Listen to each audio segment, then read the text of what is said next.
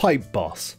This is one of the trickier bosses in Naxx that you will encounter. However, with good preparation you can avoid this raid killer. What you want to do is stand so that your character is directly above the pipe and walk in the direction that the pipe travels.